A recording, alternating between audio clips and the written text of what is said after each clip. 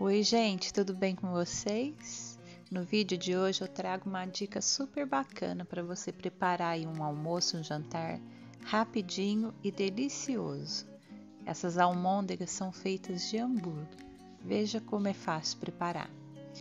Eu vou utilizar três unidades de hambúrguer descongelado, tá? Desses hambúrgueres que a gente compra em supermercado. Com apenas dois ingredientes você prepara essas almôndegas, ó. Você amassa bem, porque ele estando descongelado fica molinho, né? Para cada hambúrguer eu utilizei uma colher de sopa de aveia em flocos finos, uma colher para cada hambúrguer. Então foram três colheres de sopa de aveia em flocos finos. Vou colocar meia cebola pequena ralada e uma colher de sopa de cheiro verde para incrementar nosso nossa almôndega, né? E pronto, gente, a massa da sua almôndega já está, já está pronta. Aqui na minha frigideira coloquei um fio de azeite e vou fritar minhas almôndegas aqui. Você pode prepará-las e colocar numa forma e levar para assar também, caso não queira fazer frita, tá? E assim, ó, com a ajuda de duas colheres, você vai é, modelando suas almôndegas colocando para fritar. É super rápido, tá? É uma receita assim para coringa que você tem. Se você tem um hambúrguer na sua geladeira, você prepara rapidinho. Olha, dourou de um lado, você vira, doura do outro lado. É rápido, né?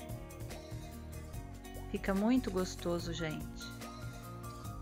Olha, eu já estou com as minhas almôndegas fritas, agora eu vou preparar o molho na própria frigideira. Aqui eu vou colocar uma colher de sopa de alho picadinho com cebola, tá? É alho e cebola junto. Vou colocar uma colher de chá de extrato de tomate e meio sachê de molho de tomate pronto.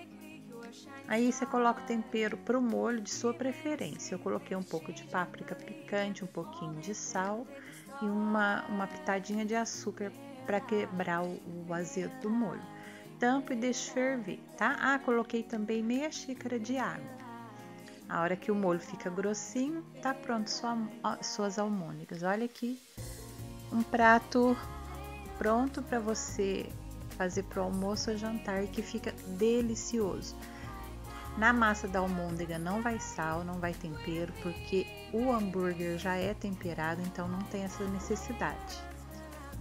Fica super gostoso. Façam aí, experimentem. Além de fácil, muito gostoso, né? Agora eu vou experimentar. Façam aí que eu tenho certeza que vocês vão surpreender a família de vocês com um almoço ou um jantar super gostoso. Hum, que delícia! Espero muito que vocês tenham gostado. Fiquem com Deus. Beijinhos no coração.